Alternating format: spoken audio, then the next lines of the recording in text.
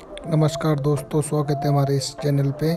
बागेश्वर धाम महाराज के बारे में आपकी क्या राय है? कमेंट करके हमें ज़रूर बताइए।